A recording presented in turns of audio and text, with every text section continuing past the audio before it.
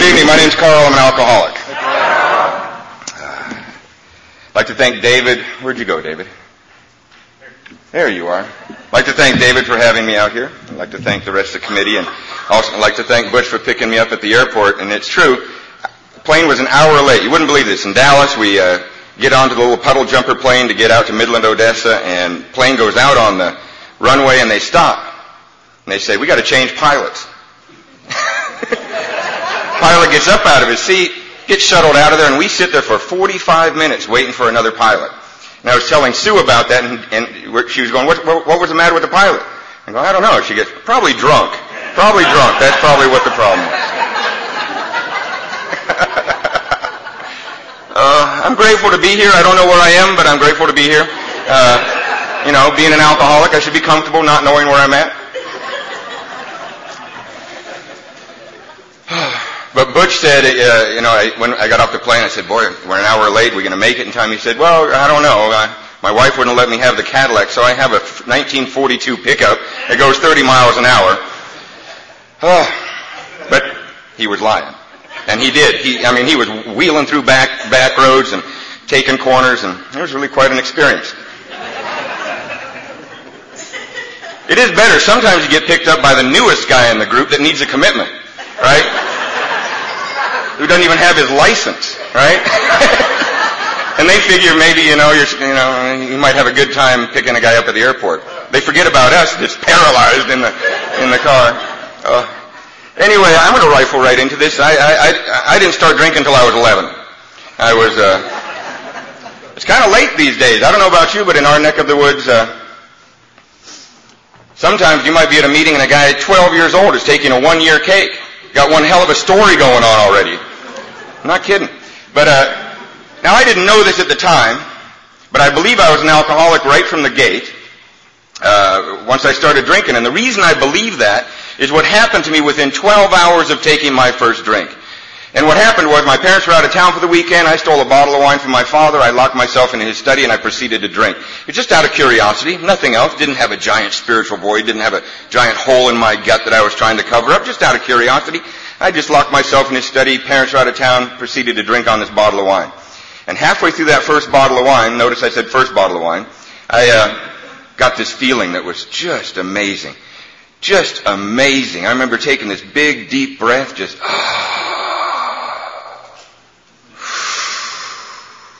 Now I didn't know I'd been short of breath for the first 11 years of my life. But man, I was breathing easier now. That was just an amazing feeling. And that's the last thing that I remember of that night was that feeling that I, that I got. The next thing that I remember is I came to my bedroom the next morning and there was puke everywhere. All over the walls, all over the floor, in the pillowcase. It was in my underwear. I mean everywhere. And I knew I was going to have to puke again. I made it into the bathroom, realized I puked all over the bathroom floor. I slipped on the bathroom floor, hit my head on the toilet bowl going down, and as I crawled back up to get my head back in the toilet bowl, I felt that wonderful, wonderful feeling that I would feel many times later in my life, and that is how nice and cold that porcelain feels in the side of your face. I was, and I got my head back in that toilet bowl and I started to heave and I'd made it into the dry heave stage, you know, where nothing's coming out but you're still whipping back and forth, right? And I'm doing that and all of a sudden I hear my own voice. My lips aren't moving. And I hear my own voice in my own head say, this is alright. We're going to do this again. Right? So right there within 12 hours of taking my first drink, everything that makes me alcoholic had happened. Halfway through that first bottle of wine, I got an abnormal, or the book calls it, Big Book of Alcoholics Anonymous calls it an allergic reaction to alcohol. This strange thing they call the phenomenon of craving kicked in and I lost control over the amount that I drank. Now that phenomenon of craving thing baffled me my whole life. Um, the best way I can describe that thing they call the phenomenon of craving in the big book is that when I drink booze, I seem to get thirstier the more I drink. It's just absolutely bizarre. It happens with nothing else but booze. Proof of that? Got, got a reasonably large cup, cup of water here. And I'm probably going to finish about half of that maybe all of it in the next 45 minutes to an hour that I'm talking to you. But I can guarantee you that when I finish this cup of water, I'm not going to go buy a case of water to get me through the rest of the night. I'm not going to do that. But with booze, I get thirstier the more I drink. But if that's the only thing that made me alcoholic is once I would drink, that I would lose all control, and that's the only thing that would happen to me, well then just say no would have been a very successful thing. Right? Back in the early 80s, Nancy Reagan would have said, just say no. I would have, and I imagine you would have gone, oh, and we would have just said no. Right? Wouldn't come to meetings of Alcoholics Anonymous. I wouldn't get in the truck with Butch. I know that to come out to a, to a meeting here. You know, I'd just be at home just saying no. David would have called me, said, want to come out to Hobbs, New Mexico? I would have said, no. I said, why not? Well, I'm just at home just saying no. What are you doing? That's what I would do. Maybe once a year we'd get together for a Just Say No convention, high five each other a little bit, and go back to successful lives. But that's not the truth because I got this other thing going on and it established itself right there with my head in the toilet bowl and, is, is, and they, they call this thing the mental obsession. Right? I have, I seem to have this mind that will rationalize and justify my way back to the next drink at all costs. No matter what you say, no matter what I promise, I'm gonna be drinking again. And it's, it, you know, that, that my mind there at 11 years old puking my guts out, I mean, you know, a little puking, that's really not that big of a price. Easily, my mind was easily able to rationalize and justify that. But you know, this same alcoholic mind, 15 years later when I made it to Alcoholics Anonymous, was easily able to rationalize and justify handcuffs as a minor and temporary inconvenience. See, I didn't know it until I made it into Alcoholics Anonymous that handcuffs are actually a symbol from society saying, we don't even trust you with your own hands. I didn't know that. I had no idea. And so right there at 11 years old, when I drank, I would lose control, and when I would be, not be drinking and paying a price for it, I had this mind that would mask it over one way or another and lie my way back into the next drink. And right there at 11, I started drinking as often as I could, as much as I could, and we lived in Seattle, and a, a, typical morning in seventh grade for me would be I'd show up early for school, not for study hall or anything, but to meet my new friends at the edge of the school property. Loser's Corner. Every school's got a loser's corner out there. We all hang out and try to act cool, smoke cigarettes, and there'd be about four or five of us 11 and 12 year olds, even away from the guys that were just smoking, and we would have a jar full of the parents' liquor cabinet mixture, right? We'd call it the playground cocktail. You know, some kid would have ripped off his dad's liquor cabinet the night before. Now, none of us had been to bartending school yet. So there, would be equal amounts of whiskey, vodka, crème de menthe, vermouth, all in that same jar. There'd be green things floating around in that. And you can imagine about five of us trying to choke that down and, you know, we'd be choking it down. And of course it was the early 70s, so we were smoking that commercial pot. Anybody remember that stuff? Four finger lids, $10 a bag, seeds and stems and the whole bit. And it was even before Ziploc days when it would just be a regular Glad bag, and as you'd roll it up, there'd be about nine people spit on it. You're like, oh man and we pack all those seeds and stems and leaves into a homemade pipe, maybe made out of plumbing fittings and a screen. Or if we were really, if we were really desperate that morning, it would be a toilet paper roll with aluminum foil and pinholes in it. And we we'd pack all those seeds and stems and leaves in there. We hit that lighter and the seeds and stems would be popping. We'd be burning holes in our clothes. And then we'd look at each other and go like, are we going to school today? I, I don't ever remember anybody saying, yeah, we're late for math. We better hurry up. I don't remember that. Now, it's at this point that many people that speak in meetings of Alcoholics Anonymous often interrupt themselves and say something like this. I don't mean to offend anybody, but drugs are a part of my story. Now, I think it's a bizarre thing for alcoholics to apologize to other alcoholics for doing drugs while drinking or in between drunks. I, I understand apologizing to judges and police officers, but I don't know why we apologize to each other. You know, in fact, the most bizarre example I've ever seen of that, it was a number of years ago. I, I was in a speaker meeting much like this, and the speaker that night was just up there giving one of the most ugly, heinous, blow-by-blow drunkalogs I've ever heard. And I gotta tell you, when I'm in a speaker meeting and the drunkalog gets ugly, the uglier it gets, the more excited I get. And that night I think I was in the front row drooling at the guy going, yeah, go, go, go, go, go, go, go. Right? And at one point in his ugly story, this guy said, you know, I had four DUIs, and the judge said if I get one more DUI, I'm going to prison for sure. And sure enough, two weeks later, I'm on the freeway. I'm, I'm in a blackout. I hit a family of four. They all wound up in the hospital, and I wound up in prison. In prison, I sodomized men. I was sodomizing. Oh, I don't mean to offend anybody, but I did some drugs too.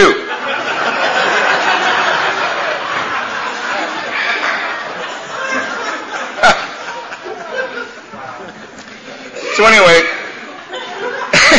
by the time I was 14 there in Seattle, I was a neighborhood drunk and the neighborhood drug dealer. I forgot to mention, but my father was a neighborhood Lutheran minister. Uh, I wish he would have had your reaction. My dad wasn't laughing about any of this. You know, my parents, very good people, non-alcoholics, solid people in the community, living good, a good life. And uh, it was no secret to them that I was withering away in front of their eyes. It was no secret. But, and they always tried to help me, you know. Uh, but you see, the thing is, they always blame my problems on people, places, and things. They always thought if we can get him away from those damn group of kids he's hanging out with, things would get better. If we can get him away, Get them out of that damn public school system, things to get better. They tried all of the above. But you see, I'm an alcoholic. My problems are not based upon people, places, and things. My problems are based upon my physical and mental relationship with alcohol. See, if you change the people, places, and things in somebody's life like mine, all that happens is that I'm loaded with different people in different places, ruining different things. That's all that happens. See, they tried all of the above, and when I was about 17 or 18, I barely scraped out of the public school system there in Seattle. My parents decided that Seattle was the problem. If we can get them out of Seattle, things will get better. So they sent me 300 miles away uh, to Washington State University. I spent three years at that university on my parents' money, and in that three years, I got about 10 credits. Um, at any given time, my grade point average matched my blood alcohol content, about a .25. I'm not talking 2.5. I'd be proud of that. That'd be a C average. I'm talking 0.25. That's withdrawals, incompletes, Fs, and maybe an occasional D, like in a bowling class or something. And by the time I was 22, this little story I'm about to tell you will let you know exactly where I stood with my family. Now, my father was Swedish, my mother is Icelandic, therefore I look like a polar bear. And I don't know whether this custom I'm about to tell you about is Scandinavian or whether it's Lutheran. I don't know. But at Christmas time, my parents wouldn't just send out Christmas cards to their friends and relatives. They would send out this big, long Christmas letter that said everything the family had been doing that year. And when I was about 22, I got a hold of one of these letters that had been sent out the previous Christmas, and as I read it, it let me know exactly where I stood with my family. First paragraph talked about what my parents had been doing that year, and the second paragraph talked about what the Morris children had been doing that year. And that paragraph went something like this. Our oldest daughter, Christina, just graduated from Cornell University in Ithaca, New York with a master's degree in marketing. She's now working for a large pharmaceutical company in the Midwest. She traveled to Europe this summer. She saw this, she saw that. Her hobbies are this, this, and this. She volunteers here and does this, and she's a very happy young woman with a very full life. We're very proud of her. Our oldest son, Eric, just graduated from Western Washington State University with a degree in advertising. He's now working for a large advertising firm in downtown Seattle. He loves to golf. He loves to travel. He's engaged to be married to this wonderful woman named Mary Lou, who works for a very small company here in Seattle named Microsoft. That was a while ago. and they love to golf together. They, love to travel together. He's a very happy young man. We're very proud of him. Our youngest son, Karl, just turned 22.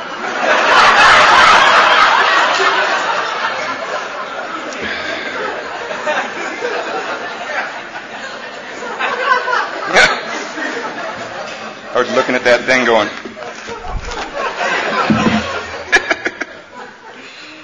uh,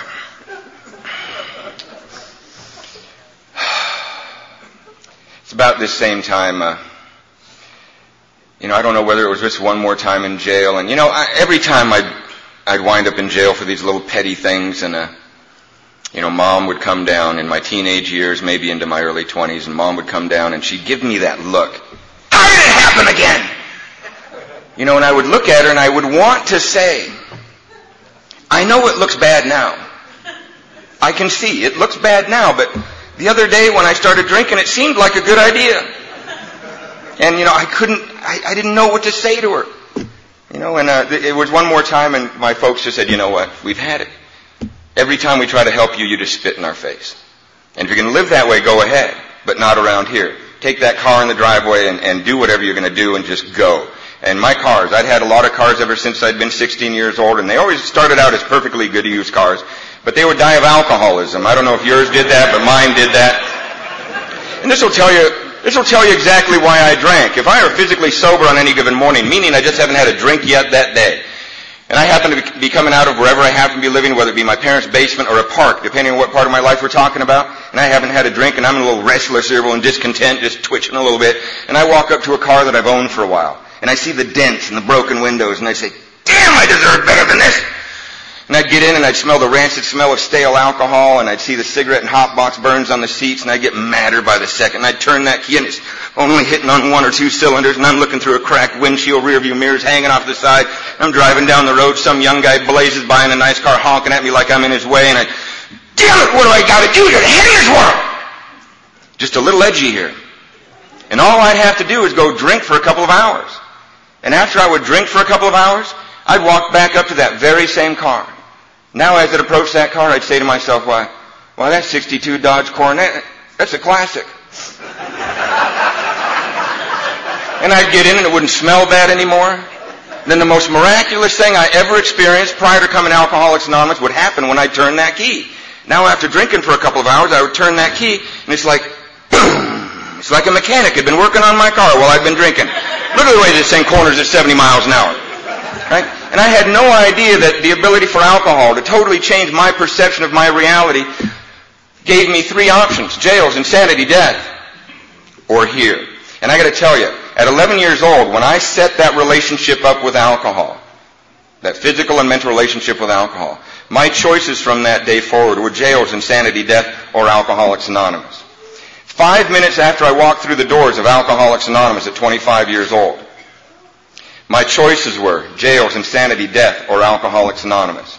Today, at 15 years and 8, 8 months clean and sober in Alcoholics Anonymous, that has not changed. My choices are still jails, insanity, death, or Alcoholics Anonymous. And if that's true, which I truly believe is, my choices today are jails, insanity, death, or Alcoholics Anonymous, then the best, if I were to leave Alcoholics Anonymous, the best thing that could happen to me is I'd make it back. So why would I leave in the first place? Okay?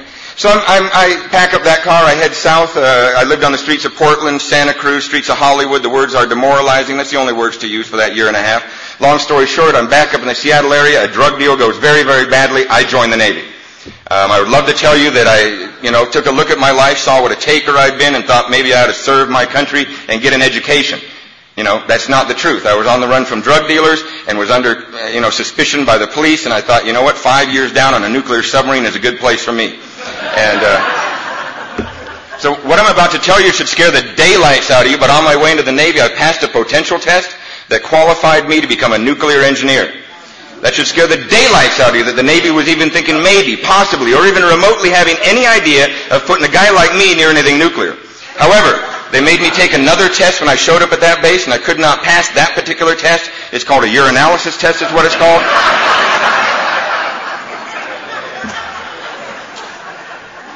I was immediately kicked out of the nuclear engineering group and transferred to this group they called nuclear waste, is what they called us.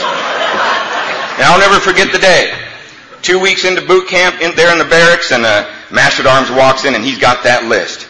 You know, and the guys that were on that list knew they were on that list. I knew I was going to be on that list.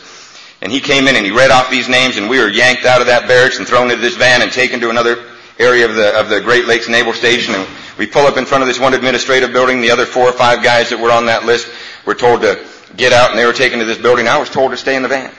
That driver took me to another building. He marched me right into the commanding office. The guy who ran the whole Great Lakes Naval Station, I was marched right into his office.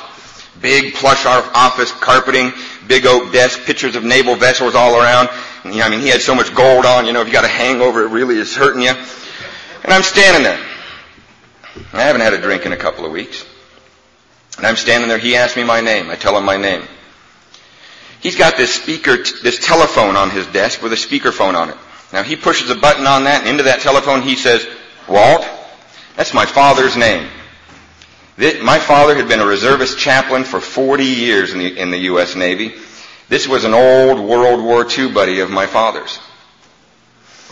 So he says into the telephone, I'm standing there shaking like this, and he says into the telephone, Walt, you know, I didn't know that your son was in, was coming into the Navy, but I saw the way he spelled the last name, saw he was in, from Seattle. I put two and two together, figured he was your son. And out of respect for our long-term friendship, I, I wanted to call you and tell you what was going on. He's gone positive for cocaine on his very first urinalysis. Technically, we should be discharging him for fraudulent enlistment. I thought out of respect for our friendship, I ought to ask you, what do you feel we ought to do with him? I heard my father's voice come through that speakerphone and it said, that is none of my concern. Click, dial tone. If I could have just slithered out of that office, I would have. I'll never forget that feeling. You know, I now know I've been embarrassing my family in the north end of Seattle for years, and now I'm embarrassing my father on a national level. And I know what that, that tone of voice that he had there was just resignation. It was actually the, the resignation of, I'm not going to fight alcohol anymore. I'm not going to fight drugs anymore. I'm just, you know, that's what it was. He told me years later, that's just what it was. Just an absolute resignation. And, uh, they kept me in the Navy as a regular electrician, as I said, took away that nuclear status, and so supposedly I'm an electrician. I got to tell you, they wouldn't even let me stand watch on a light switch. I, uh, a year and a half later, I'm a lower rank than when I first came in. I, uh, it's like this, you know, the, when I'd be out in, in, at sea, I'd be on this big gray ship in the middle of the Pacific Ocean. I'm in a uniform. I'd look around, the other guys are in uniform. I'd look down, I'm in a uniform. We're on a gray ship in the middle of the Pacific Ocean. There's no, no amount of denial can mask the fact that I'm in the United States Navy, right? However, that ship would pull into a port. I would leave that ship and take a drink. I would totally forget that I'm in the Navy. And I would come back to where I had last seen the ship when the drunk was over. And it's, you know, sometimes that ship was no longer there. It's a very lonely feeling in a foreign country on this big pier, and you're thinking, you know, there was a destroyer here the other day. And how do you explain that to people? This one morning I was driving my car into the base. I'd been drinking all weekend. I was already in a lot of trouble with the Navy. I'm just hanging on by a thread, and uh, I'd been drinking all weekend. Uh, I got this, this bottle between my legs, and at every military base there's a, a guard shack. At every Navy base there's a guard shack where a Marine will stand guard. And if you're going to bring your car onto the base, you have to slowly pull up. He'll check your military ID. He'll check the sticker on your car. If everything's in order, he will allow you on the base. This particular morning, I guess there was a depth perception pro- uh, problem going on. They, they still insist it was on my part. I, I, I'll never forget. I still remember seeing, I saw this Marine sticking his head out of the guard shack. I could see the whites of his eyes. And I looked down. I'm going like 35, 40 miles an hour. I tried to swerve. The car hit this median on the right hand side, flipped up on its side, and bam, right through that guard shack. I can still see that Marine doing this big dive out of there. And it was one of those scenes, you know, that happens to us about every 90 days. Uh, car's upside down. There's smoke. Wheels are spinning. I'm half in the car, half out of the car. And now my thought process that particular morning was not, oh my God, what have I done? Is that Marine okay? That wasn't going through my mind. What was going through my mind was, where's that bottle? Now, I'm not thinking I need to get to that bottle to, because I need to throw it in the bushes because it might be evidence to incriminate me. I'm thinking I need to get to that bottle because of this. I knew that in my experience in these types of situations, that it's anywhere from two minutes to ten minutes that the authorities are going to arrive on a situation like this. And in my experience in situations like this, when the authorities arrive and see what kind of scene is going on, and they figure out what's really going on, it's going to be a while till I get a drink. I just know that. I know it's going to be a while till I get a drink, so I need to get, get the rest of that bottle down me. Anyway, they, they were patching me up at the hospital. The Marine was okay. Uh, they were patching me up at the hospital. I had new charges on me. This was nothing new. But the most significant thing that happened that morning at that hospital is that the Navy, the Navy doctors prescribed medical science's best shot at the alcoholic, Antabuse. They prescribed this Antabuse for me. They sent this prescription back to the ship's doctor, and every single morning at 7 a.m., 6:45, I would have to show up at sick bay. The corpsman would put this little white pill on my tongue and make me sit there for a half an hour. And uh, over the next seven to ten days, I started to experience the most cunning, baffling, and powerful side of this disease called alcoholism, and that is that there I was as the days ticked by, and I'm uh, I'm on this Antabuse and supposedly can't drink. I had developed a mental obsession and a spiritual malady so severe that no amount of discipline from the military was going to overcome that. No amount of well-meaning love from anybody that may have still cared about me was going to change that. No amount of anything was going to change what was happening with me except for, and I didn't know it at the time, except for what was available for me here in Alcoholics Anonymous. And I'll n- never forget those first few days on Antabuse. I just remember counting the days, just.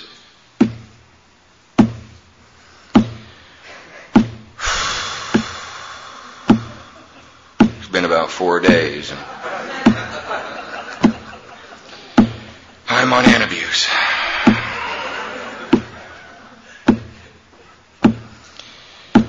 Now it's been about six days and I'm on Antabuse.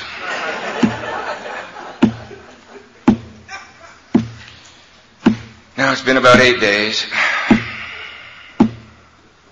six hours, and 15 minutes. And I'm on Antabuse. I started to look around that ship and uh, the other men, they're talking behind my back. All 300 of them.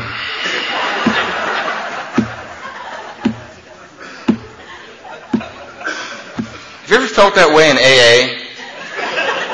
The only difference is that in AA, uh, we are talking behind your back. Only with love and tolerance in New Mexico, I'm sure, though. After about 10 days of this, I just snapped. I went AWOL from my ship. I locked myself in a little hotel room in downtown San Diego. Got a bottle of vodka and a shot glass. I sat on the edge of this little bed and put the bottle of vodka and the shot glass on this rickety little end table and uh, I stared at it and I remembered, as I was staring at the bottle of vodka, I remembered that the Navy doctors had given me a warning when they prescribed the Antabuse for me. They had, they had told me, son, if you drink on top of Antabuse, you're going to get one of two reactions. One reaction is you will get violently ill. The other reaction is you might die. I remember sitting on the edge of that bed looking at the bottle of vodka thinking, hmm, well, wonder which reaction I'm going to get. Took one shot and nothing happened. Authority had lied to me again as far as I was concerned. I waited about two minutes just to make sure, and I took another shot. All of a sudden I felt tingly in the face, so I looked in this cracked little mirror that was in this hotel room and I was like bright red, blotchy and purple in places. Hmm. Took another shot. All of a sudden I could feel my heart going boom, boom, boom. Looked at my shirt, I was drenched in sweat, and all of a sudden I was like, hyperventilating. We're doing all right so far. This is all right. I got to tell you, any of you that are laughing, very sick, very, very sick. If you think that's funny.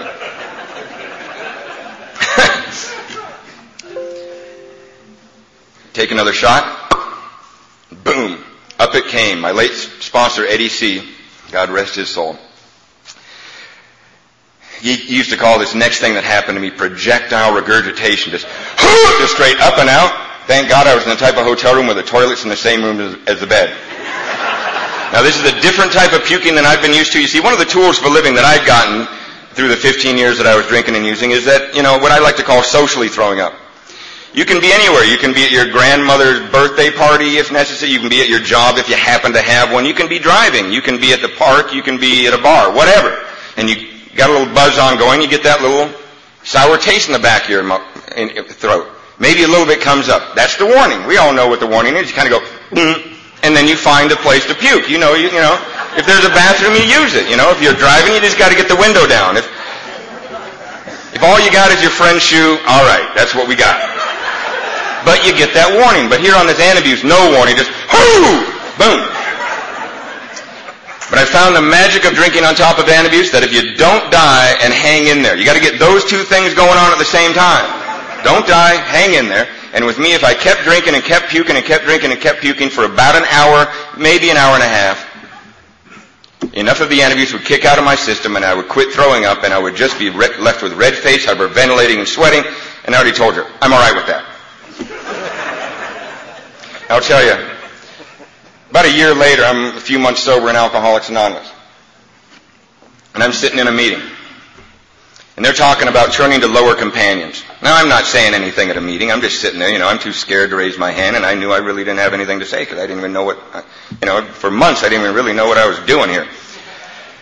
And so, uh, but they were talking about turning to lower companions. So after, at the, at the coffee shop, you know, there's some guys sitting around and they were discussing the meeting and I kind of chime in and I go, you know, I really identified at that meeting with that turning to lower companions things. And they go, oh yeah? How's that? And I said, well, you know, I used to lock myself in, in, in this Plaza Hotel in downtown San Diego and I'd be in the same room every, every time I do that. Room number 10. You know, I'd be AWOL from my ship and I'd be locked down there for a few days trying to get, get enough Antabuse out of my system to go on a drunk. And, uh, I, in room number 10, I'd be there for about two hours late at night, you know, barking and puking and barking and puking and, you know, down and more. And over in room number 9, there was this pregnant hooker. And while I'm barking and puking, she has sailors coming and going and coming and going and coming and going all night long. And over in room number 11 on the other side, there was this nickel and dime crack dealer. And guys were coming and going and coming and going, and I'm in room number 10 just barking and puking and barking and puking, right? Really quite a scene there on that floor. But I told him, you know, and, and after, you know, late at night when I get enough Antabuse out of my system and I get a drunk going and when they had enough of what they were doing, we'd all get together and party. And so I was telling him, I, that's, I guess I was turning to lower companions. Now, they never let you get away with a dang thing here in Alcoholics Anonymous. Because one of the guys at that coffee table turned to me and said, and you were AWOL from your ship when you did that? I said, well, yeah. He said, well, then they were not your lower companion. You were their lower companion because at least they could show up to work. It's like, man. Man, oh man. I drank on top of Antabuse for the last seven months of my drinking. Um, my second to my last drunk, I was left for dead in a little town called National City, just south of San Diego. It's right out where the Navy base is. And uh, three guys, I was just in a blackout and uh, was wandering the streets. And three guys decided they needed my military ID and they opened up my face for me and left me in a pool of blood. I remember laying in, the, in that motel parking lot in that pool of blood and I didn't even know how bad it was, but I just remember that I couldn't move and there was this warm fluids just running all down, all over me and uh, uh, I remember hearing a siren in the background and for the first time in my life thinking, hoping that siren was for me. Um, that morning they had to do reconstructive surgery on my face and a plastic surgery afterwards to reset my jaw, put my face back in, in, in, in a spot and stitches all the way through here, and then they had to do plastic surgery after that. Here's an example of my alcoholic mind. Five days later, I'm being let out of the hospital. My jaw is wired shut. I'm fully medically detoxed. IVs, the whole bit. I'm not craving a drink. There's no physical craving. I don't need a drink, but I'm left with the alcoholic mind. And as I'm being helped down the stairs by a guy from my ship, and I'm in a world of trouble with my ship by now, and as I'm being held, walked down the, the stairs, I turn to the guy that's helping me down and I say to him, if there's any time I need a drink, it's now. I could not differentiate the true from the false. I could not connect the fact that I was in the, there in the hospital having my whole face reconstructed as a result of drinking. It was them. If those guys wouldn't have been there that night, they wouldn't have done that to me, you know, it's just baffling the way this mind of mine is able to rationalize and justify the truth. My last night of drinking, I'm being let out of the San Diego jail in handcuffs, and I was uh, standing on the quarterdeck being, uh, after being in jail the night before, and the shore patrollers having me at the, standing to me at the quarterdeck, and they won't allow me on the ship. The officer of the deck that morning says, wrong answer, he's not coming aboard this ship. Orders have been processed on this guy. 90 days in the brig, bad conduct discharge, or, and then he got this disgusted look on his face. Or, and he said, according to the Uniform Code of Military Justice, we cannot discharge him for alcohol-related offenses without offering him treatment first. Now, the significant thing going on there is that it wasn't like I had a moment of clarity and thought, you know what, today's a good day to get sober. Didn't even think I'll go get sober to get them happy. Because it wasn't my choice. If any of you remember being in handcuffs, it's not your choice as to where you're going. When, I, I don't ever remember being there in handcuffs and authority figures standing around. I've never remember them turning to me and say, what would you like to do? You're going where they say. Right? I uh, was taken up to a treatment center and, and put into this treatment center. The doors were locked behind me before the handcuffs were taken off. And I'm in this treatment center, and everybody that shows up, it was up at the Miramar, uh, it's where that uh, Miramar base, where that Top Gun pilot school is. Our little section was called Top Drunk, is what they called us. And, uh, you know, I'm just sitting there shuffling around, and they're asking questions and giving me anticonvulsant medications, I guess. I don't know. Um, and everybody that showed up in the same week, we're going to go do this 45 day thing together, right? And they had us in these group sessions, I guess, and there, there, was an assistant facilitator looking out for us for the first few days in case one of us threw a seizure, then somebody would call somebody, I guess. And we are just sitting there and uh, nobody's saying nothing. We're all looking down at the floor nobody's saying anything. But this one guy, his name was Paco, he was from some other base somewhere, he raised his hand. And he says, I hear I'm supposed to be rigorously honest with you guys. I want you guys to know that Paco's not my real name. Paco's just a street name I've had ever since I've been a young kid. My real name's Randy. I want to do this staying sober thing. Want to be honest with you guys. Will you guys call me Randy from now on? We all kind of look up from the floor just enough time to say, great, nice to meet you, Randy. You know, none of us were too excited about Randy's honesty. But this assistant facilitator who was looking out for us got really excited and said, oh my God, this is the first breakthrough of any honesty of any of you SOBs. Later that afternoon, Randy was paraded in front of us. They, they slapped a gold name tag on him that said Randy, and then we were all informed that whenever staff was not around, Randy's in charge. we loved this guy. Oh, on about the seventh day in this place, they took us all to our first meeting of Alcoholics Anonymous. At least it was my first meeting of Alcoholics Anonymous. I don't, you know, I, would never, as far as I know, I had never been to a meeting of Alcoholics Anonymous. I had no prior opinion as to what Alcoholics Anonymous was or was not. All I know is we were in there about a week, about seven days, They said 6 p.m. parking lot, civilian clothes, and we're out there. About five white vans pull up, names are read off, we're thrown into various vans, and boom, out in town we go. Next thing I remember, I'm sitting in a room like this, and there's a podium up there, and people are talking from this podium. People are reading it at first, then some people get up. I didn't know there were different types of meetings. I, I, I now look back, this must have been a participa- participation meeting because a bunch of people got up and talked for a short period of time and got down. The only thing, I, I only remember a couple of things of that night. And that, first thing that I remember of that night was that I was sitting there, and as they did the reading, and as those various people talked for a few minutes each, I got this feeling deep in my gut of, oh my God, they know. They know. Now I don't know what it was that you knew that I thought I knew, but I knew that you knew. And I now know what it was. There'd been something that had been killing me for years. Now, it wasn't one of those deep, dark, ugly secrets that we all come into Alcoholics Anonymous with. You know that secret. You know those secrets. We all come to Alcoholics Anonymous. You know that thing that happened in the middle of that night? Where you know that just being in the, in, in the same room fundamentally changed you as a human being? We all come to Alcoholics Anonymous with that stuff. We all do. But there's something else that just killed me inside as I was, for years. And that is that whenever, sta- uh, whenever authority would be yelling at me about my drinking, if I could have said this to them, I would have. You know, they'd be yelling at me about my drinking, and I would say, "Yeah, I know, I know, I know, I know it looks bad. Yes, yes, I know. I, yes, I, I know. I see that burning car over there. I know it looks bad." But if I would have, if I could have verbalized this to them, I would have. I, I would have said, "But if you knew how I felt when I wasn't drinking, you wouldn't be asking me why I drink." And for the first time in my life, I heard people talking about that in that very first meeting of Alcoholics Anonymous. I heard people talking about the insanity of the alcoholic with no alcohol or drugs in their system, that restlessness, irritability, and discontentment, that frustration that we feel, that big lead ball in the bottom of our belly, and we got no alcohol in our system, and the only relief is to take another drink. I had never heard that in the bars. I'd never heard that on the streets, never heard that anywhere. And I remember hearing that on one level or another. Next thing I remember is that this one guy got called on and he walked all the way to the front. He said one sentence and he sat down. I have never heard a better explanation of the alcoholic mind than that night, my very first meeting.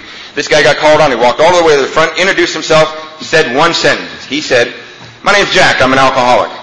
My mind would have killed my body a long time ago, except it needed it for transportation. Sat right down. It's like, whoa.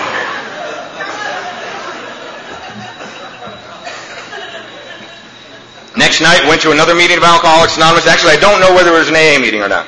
It was some 12-step meeting. I don't remember. But all I know is I got very confused at that meeting because everybody at that meeting was talking about something called a drug of choice. I'd never heard that term before, and people up there saying, well, my drug of choice is, and somebody else would say, my drug of choice is. And the more they said that, the more confused I got. I was sitting in the back thinking, was I supposed to be choosing out there? Do they want me to choose now? What are they talking about? So I'm back at the treatment center the next morning. I asked the counselor that had been assigned to us. Her name was Mary Weber, a wonderful woman, non-alcoholic, very devoted to working with alcoholics. In my life, got to regard her as a saint because, you know, a non-alcoholic devoted to working with alcoholics. You know, we all got to work with each other because we have to or we die. She was doing it just out of some sort of love or devotion. I don't know. But I say to Mary, last night in the meeting they were talking about something called a drug of choice. What on earth do they mean by that? Now Mary turns to me and she said, let's play a game. Now, I'm still on these anticonvulsant medications. I'm seeing things out the side of my eyes that when I turn, they're not there. And I'm like, and she wants to play a game. So I try to focus my eyes and I go, okay. She says, imagine this, Karl. Imagine I walk into this room and I had a tray. And on that tray I had a bottle of Jack Daniels, an ounce of cocaine, and an ounce of Thai sticks. Which one would you take? I started to drool immediately. Oh, oh, oh, oh. I take them all! She starts to snap her fingers, settle down, settle down. And I'm like, my eyes came back into focus and she looks at me and she says, you can only have one. Which one would you take? And I thought for a second, I said, well, if I can only have one, I guess I take the ounce of cocaine. She said, well, then maybe cocaine is your drug of choice. Do you understand? I said, no. She said, what's the problem? I said, well, Mary, the only reason I take the ounce of cocaine over the other two is, will I take that ounce of cocaine, I get the hell out of here, and I'd sell two eight balls. Now I'd have enough money to buy a quarter pound of Thai sticks and a case of Jack Daniels. That's what I would do.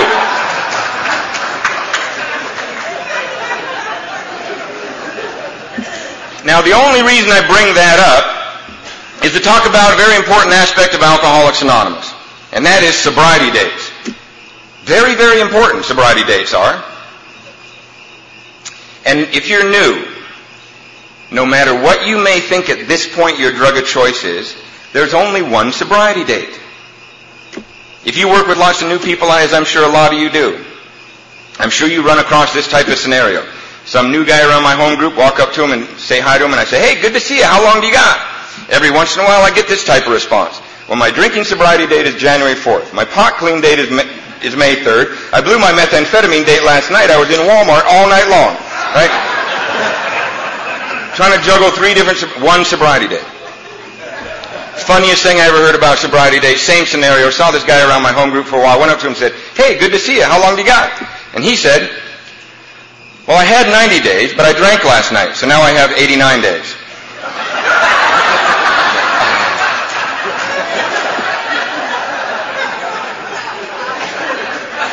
Didn't quite know what to say to him. I thought, hmm.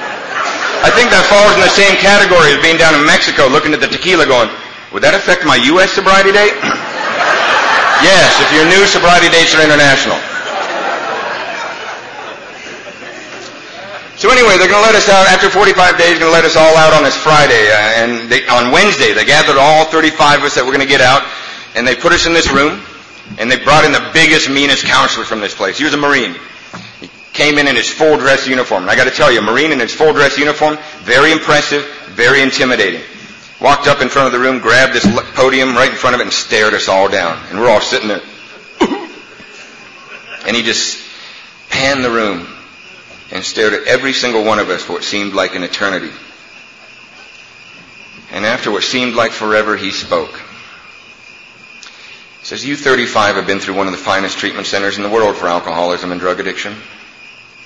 This treatment center has been here for many, many years. And the statistics for this treatment center are that out of you 35, only one of you will stay continuously sober from this day forward. Many of you will die, go insane, wind up in prison. It's a nice little exit pep talk they're giving us. Many of you will relapse once, twice, maybe 20 times and then may make it back into long-term sobriety. But according to our statistics over the years, only one of you will stay continuously sober from this day forward. Man, when he said that, if you thought it was quiet in that room beforehand, it was dead silent now. You could hear a pin drop. The only thing you could hear was me going, shit.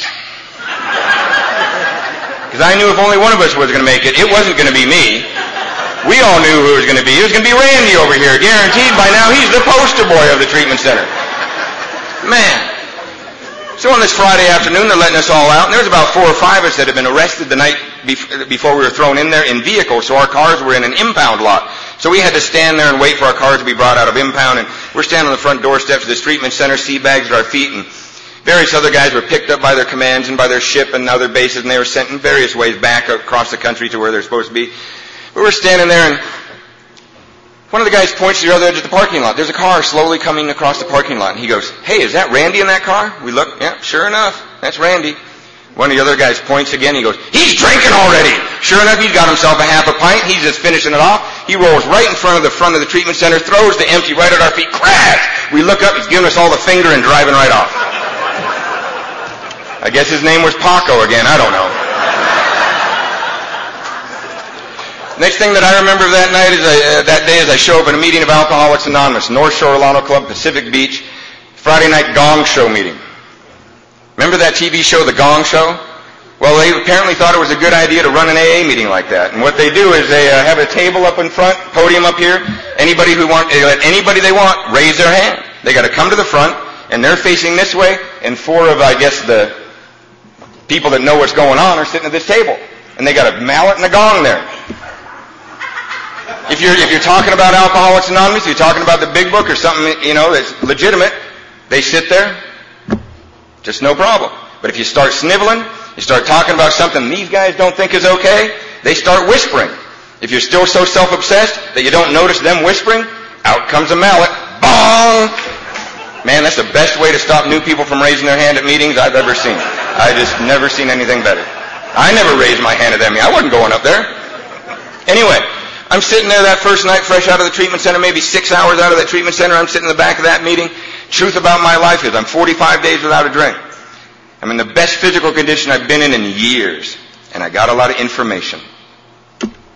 There'd been no spiritual awakening, spiritual experience, or even a personality change sufficient to bring about recovery from alcoholism.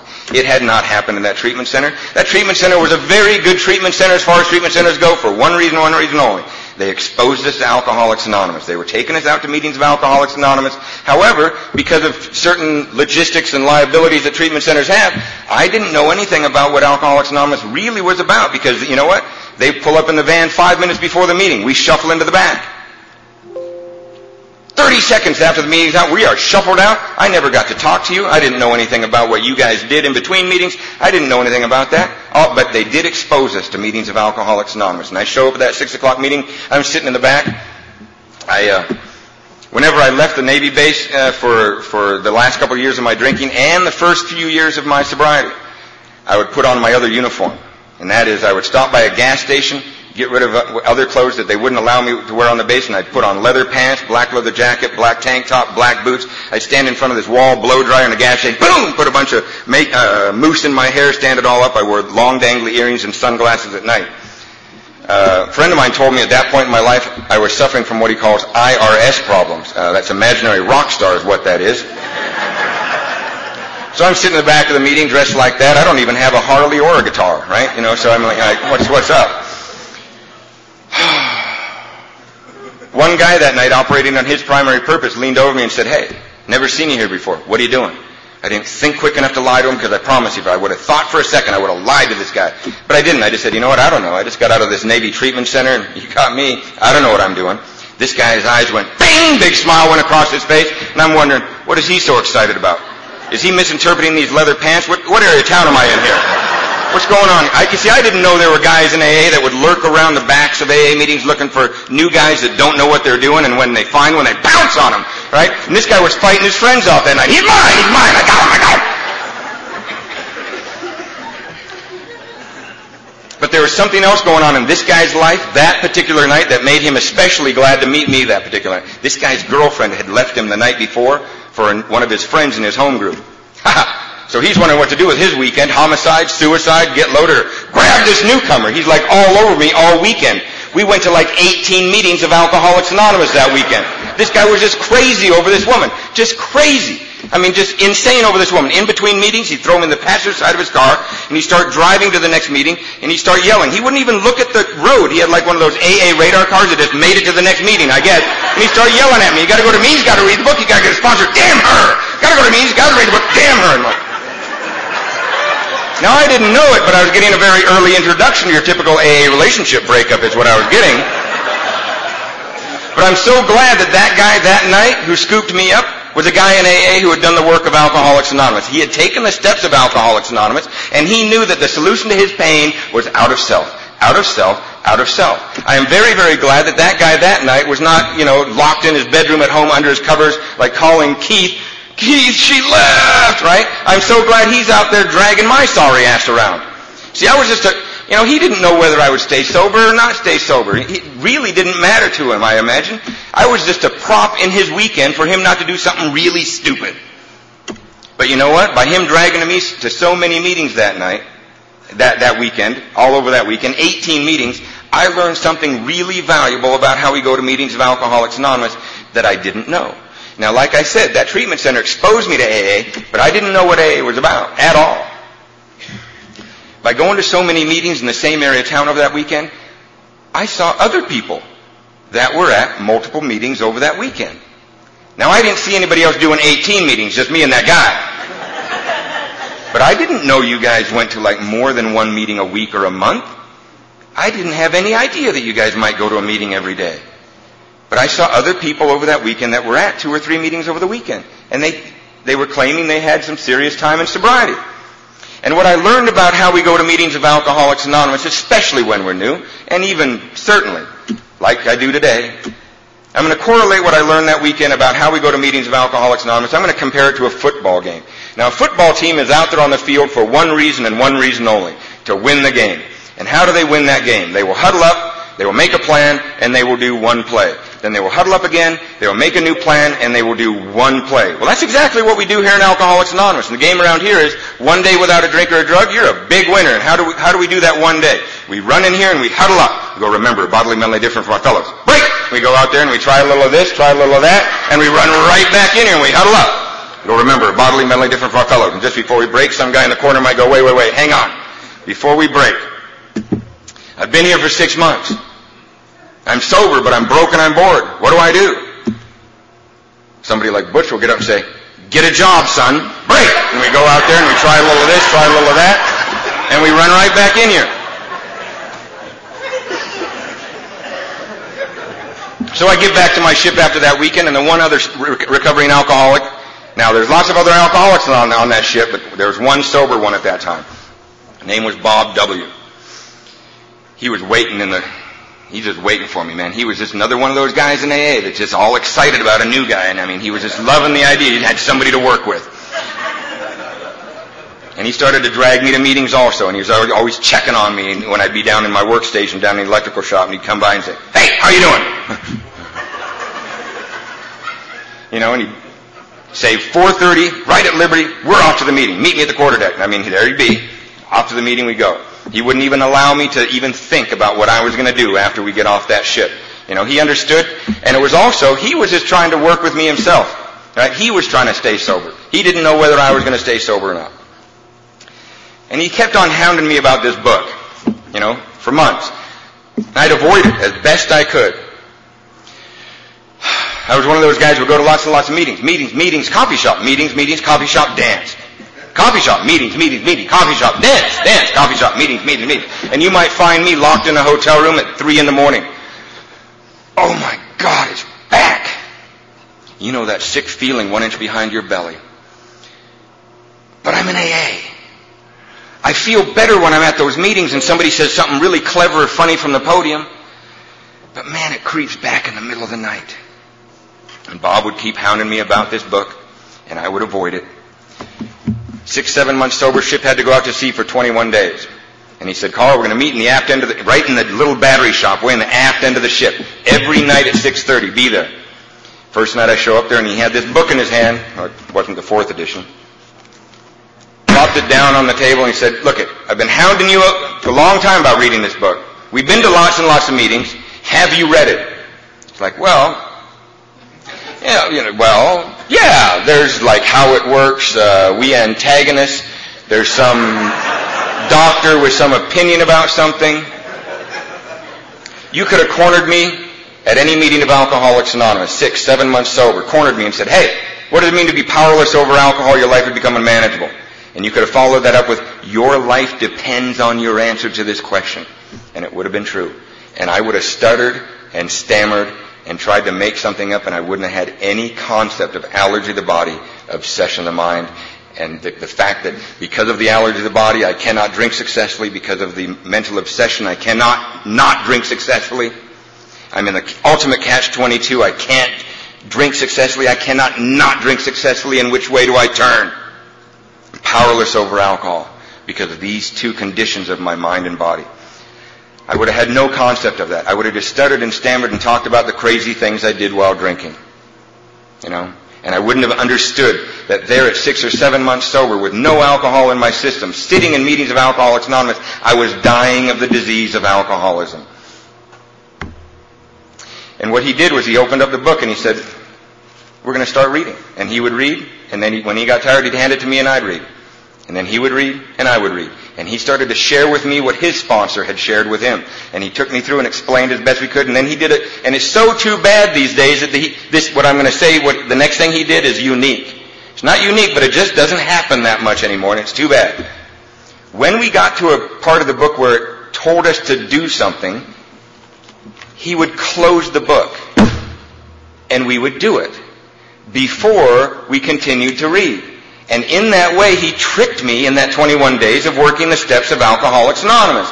I didn't even know I was working the steps of Alcoholics Anonymous because if he would have said, we're now going to work the steps of Alcoholics Anonymous, I would have started to set up a series of lies for him as to how I'm going to lie about this and not work that. And well, I'm thinking about step three now, and you know what? I really am, you know, four step, I'm just struggling on that. He tricked me. And by the end of that 21 days, when we, uh, that ship pulled back into port, I had this list. I hated this list. He was ecstatic about this list. He just loved this list. I, I looked at this list, and this list, which we know as the amends list, represented years and years of poverty and humiliation as far as I was concerned. But he was just very excited about this list, always referring to how you're doing with that list. What happened as a result of him taking me through the steps is that I had what the, uh, the appendices in the back of the book under spiritual awakening. I had a personality change sufficient to bring about the recovery for, from alcoholism. I did not get this may sound strange at first. I did not get what is promised in the steps of Alcoholics Anonymous. I did not have a spiritual awakening, a fundamental rearrangement of my ideas and emotions. I did not get a healing at the level of my soul which I needed to have until I did something else other than work the steps myself. And that was until I started to do for others what had been done for me. That's when that level of healing at the level of my soul took place. That's when that happened. And I learned in the most crazy, crazy way of how valuable it is for us as sober alcoholics to keep doing this work and to be there for each other, and no matter whether we think the other person is going to stay sober or not. And that we're the only ones that can. Doctors, psychiatrists, all of the things that, that uh, society has to offer to help various people in a crisis situation, do not do it for us. We're the only ones that can do it. And this is how I learned that. Whenever my first sponsor and I, Bob, would sh- uh, show up in a in a uh, foreign uh, town or, or, country, when the ship would pull in, we would always, you know, go and uh, share a, a, hotel room just to get off the ship so we could get away from, you know, those barracks. I mean, they got 60 guys in a barracks stacked three high, right? We would want to get away from that for a day or so. We would share a hotel room and we'd go out and find the meetings of Alcoholics Anonymous in town, and we would go find the AAers, hook up with them. And this particular time, we were in Victoria, BC. We were there in Victoria. We got in a hotel room. We went out and found the AA meetings. And he got a little, Bob got a little tired right after the meeting, so he went back to the hotel room. And I stayed out with the AAers for a few hours later. We went out to coffee or just something to eat. I don't really remember. And I came back to the hotel room a few hours later, and there's Bob. And he's got this other guy from our ship named Blair. And he's got Blair propped up on the bed with pillows. Now Blair is like so drunk. He's in a blackout. He's fallen over, but Bob's got him propped up. I think he even had a chair wedged up against Blair to keep him sitting up. And there's Bob reading the big book of Alcoholics Anonymous to Blair. Now I look at this scene and I think, Bob, you are really desperate tonight to stay sober. Maybe you should have stayed out with some of the AAers. And I just didn't even bother. I just kind of look at this situation. Blair is falling over and Bob's reading the big book to him. And I'm thinking, I go over to my side of the room, I roll over, turn the light out and go to, go to bed. A few weeks later, ship's back in San Diego. It's 3 a.m. I'm in my bunk. All of a sudden, bam, bam, bam, bam. Karl, wake up. It's Bob. And I, I pull the curtain back, and there he is. He goes, come on, we're going to get Blair. He's on the Coronado Bridge. Come on. It's like, well, apparently what had happened was, earlier that night, Blair had had it up to here with that ultimate catch-22. Can't drink successfully, cannot not drink successfully. And he decided, I've had it. Now, if you don't know, the Coronado Bridge in San Diego is a very popular suicide spot. Very big bridge. It's very popular for suicide. In fact, it's so popular that at the top of the bridge, they have a suicide hotline phone. Just in case you got a little change of mind. Right? Apparently Blair was standing up there, had a little change of mind. He picked up the suicide hotline phone. And apparently this is what had been going on for the last hour before we were, before Bob was called. Blair was t- talking to the people on the suicide hotline phone, or wasn't talking, and this is all he was saying. I will only talk to Bob W. Now these suicide hotline phone people are saying, well, who in the hell is Bob W? Blair is saying, it's anonymous.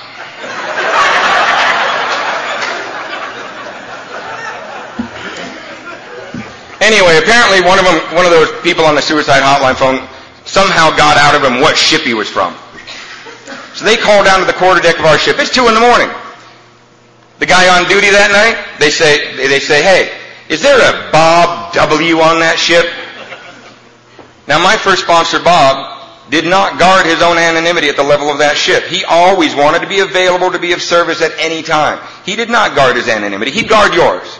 But he didn't guard his. So of course the guy on duty that night said, yeah, yeah, Bob W., Mr. 12 Step, sure, we know who he is. They ran down to get him. Then Bob comes to my bunk, bam, bam, bam, Karl, come on, Blair's on the Coronado Bridge, we're going to get him. I'm like, huh, what? Okay. So we hop in Bob's car, he starts driving, he says, grab the big book out of the glove box. Read Working with Others. Let's bone up on it on the way down there. So I'm like, all right. Get the flashlight out. And it says, see your man alone if possible. He said, he's alone up there, all right. We'll get him up there. Says, I'll forget it. We're going to wing it. We arrived down there at the bottom of the Coronado Bridge. Everything that San Diego County has available for a situation is there. Paramedics, fire department, on-duty psychiatrists. They're all there. Blair isn't budging. Bob and I walk up on this scene. Fire chief turns over and says, is one of you Bob W? Bob goes, yeah, that's me. He goes, well, we've been at it for an hour, hour and a half. He ain't budging. I don't know what you're going to do, but here. Hands him the speakerphone. Bob says in there, Blair? And you can hear Blair's voiceover go, Bob, is that you? Bob says, yes, Blair's me. Now get the hell down from that bridge. And you hear Blair's voice, okay. One alcoholic can affect another alcoholic like nobody else can. What I learned that night is no matter whether I feel like going to a meeting, whether I feel like answering that phone, whether I feel like being active in Alcoholics Anonymous or not, it is vitally important that I do my part because we can only help each other. If I've reached this point in my sobriety before where like, oh man, is this all there is? I'm just at another meeting of Alcoholics Anonymous and I forget how valuable it is that my body is in that chair. So that the new person who might not even be saying a word, who saw me there the other day, sees me there again. Two years sober, I got an honorable discharge out of the Navy. First thing I ever accomplished, I even got kicked out of Cub Scouts. Right? First thing I ever accomplished in my whole life as a result, loving God, program of Alcoholics Anonymous, and you guys teaching me how to show up every day in the same place in a uniform. I didn't know this. All it's really all I had to do. At least I needed to start there. And uh, honorable discharge out of the Navy. One of the one of those things on that amends list was that my parents had paid for a bachelor's degree back when I was like 17 to 20, and I had squandered that. So I either had to pay them back all that money, or I had to go get what I, they had paid for. So Got out of the Navy, packed up, you know, through having to make financial amends in the first two years of my sobriety, Navy paycheck every month. Still push starting the same car that I had, you know, when I, when I got sober. Little 68 Volkswagen hole in the floorboard, had to push start the thing. Used to call it my rolls canardly. It would roll down one hill and canardly make it up the next, you know. And I, two years sober, I still got this Volkswagen. I'm push starting it, hole in the floorboard. I got everything I own, my sea bag in there, and I'm puttering on up. I signed up for this school up in the eastern San Gabriel Valley part of Los Angeles, and puttered on up. And I, you know, called AA uh, central office and said, "Where's there a noon meeting?" And I pulled into Covina. Just only meant to pull into Covina. This was 13 years ago. Only meant to pull in for a noon meeting. I'm still there 13 years later. You know, and the reason is, is that I met a man there at that very first noon meeting guy named Eddie Cochran. Wonderful, wonderful man. He was pouring coffee at a noon meeting. He was 10 years sober when I was born. And you know, I, I, I met him and he saw that he hadn't seen me at that meeting before and he came up and he poured a cup of coffee for me and said, just like that guy on that first night, hey, haven't seen you here before. What's up? This is what I tried to tell him. I said, you know, thank you very much for welcoming me. I'm two years sober, been to lots of meetings, worked the steps of Alcoholics Anonymous had some wonderful experiences in Alcoholics Anonymous. I'm on the right track. Very nice to meet you, but you know what? I need to get a life. I'm going to be going to school. I'm going to be going to work. I got to, you know, I have no other way to support myself. I'm going to be getting this job, and I got to go to school. I got to make amends here. And you know what? I'm very happy to find out where this meeting hall is, so I know where there's a meeting when I need one. But you won't see me very much because I'm going to be busy getting a life. And he just chuckled in the way that he did. He just chuckled and he said, "Son, that's wonderful. School and work, great things for a young guy recovering from alcoholism. Great thing for anybody. But that's what we do in between meetings, son. He was giving me the secret to long-term sobriety, and that is that I need to live in Alcoholics Anonymous and visit the world. So many of my friends over the years have tried to live out there in the world and visit Alcoholics Anonymous when convenient, and they're not here anymore. That's been the secret. You know, and the very first thing he told me to do is I needed to put newcomers in that car. I was saying, oh, come on. I got a hole in the floorboard, Eddie. One of them's going to fall through the floorboard. He said, look, it, you seem to be really worried about the condition of your life and how you've got nothing going on. So put some newcomers in your car, your life will get better. Now I didn't see how my life was going to get better by doing this, but you know, he was 10 years sober when I was born. I'll try it. Very first night I put new guys in that car, my life got better. The new guys could push start my car. He didn't say how much better, he just said better.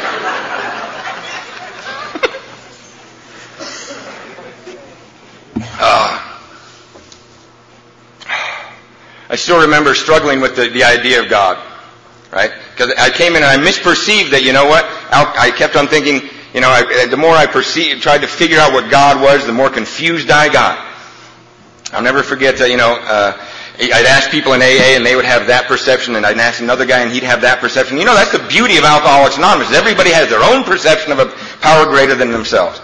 But I kept getting more and more confused, and I called up my father one time, and I, it finally dawned on me, why don't I ask my dad? Been a minister and a theologian his whole life. Maybe he can tell me who God is. A couple years sober, and I call up my dad, and I go, now he's still kind of, you know, iffy about whether I'm going to be staying sober or not. I go, Dad, I'm getting really confused about this God thing.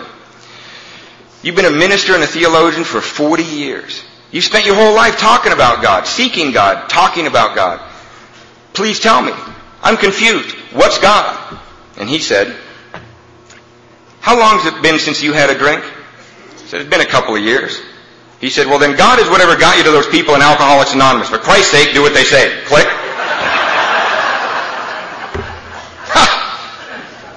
It's that simple. For me, it's that simple. I'm going to finish it with this little story. And that is uh, a couple of years ago, I was asked to go to Nogales, Arizona to talk at this camp out. And I, uh, I carry this nationwide pager. And whenever I'm going to be out of town, I always call my mom to tell her that I'm going to be out of town.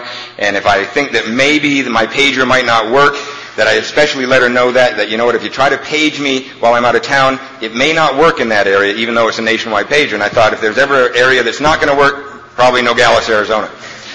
So I call up my mom and tell her that, that I'm going to be in Nogales, Arizona, and if she tries to page me, don't get worried if I don't call her back. And she said, Nogales, that's wonderful, that's wonderful. Don and Leona live down near, there. You must visit them. You gotta go visit them. You haven't seen them in years. I, I, I to say, you're right, I haven't seen them in years. I don't remember who you're talking about. Remind me, who are they? I hadn't seen them since I was a little kid. Don was the best man at my parents' wedding. They were lifelong friends of my parents. And, uh, you know, so I said, sure, sure, I'll give him a call. And Don said, hey, that'd be great for you to come to visit. You know, uh, do you like to golf? And I mean, that's a trigger for me. I'll golf anywhere with anybody at any time. I'm kind of like a golf whore. I'll just go anywhere, right? I'm just obsessed with that game. Right, so I say, sure, I'd love to golf with you, Don. So we, we show up and we start golfing. And we're walking along through the first couple of holes, and he's talking to me and he's asking me questions, and the more he questions he asks, the more baffled I get because he he's asking me questions like he knows a lot about my life. He's asking me very specific, pertinent questions about my life as if he knows. I look at him and I go, you know, he knew what school I graduated. He knows from. He knows what uh, what my degree was in. He knows what companies I've been with. He knows what I'm doing today with everything that, that's going on in my life today. And, he, and, and I go, Don, I'm confused. I haven't seen you since I was like nine years old. And yet you know all this about my life, and I gotta admit, I'm embarrassed. I don't know much about your life, but I'm confused. How do you know all this about my life? And he said, well, Karl, there's two reasons why I know a lot about your life. And first one is before your father died back in 1996, he was always talking about what you were doing in your life.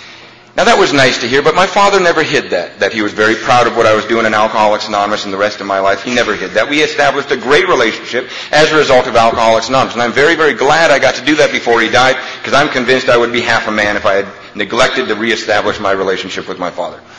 The second thing that he said floored me. It did it for me. Couldn't even golf the rest of the day. He said, the second reason I always know what's going on in your life, Karl, is because every year I get the Christmas letter. I'm like, yes! I'm finally in that thing. Yes! Yes!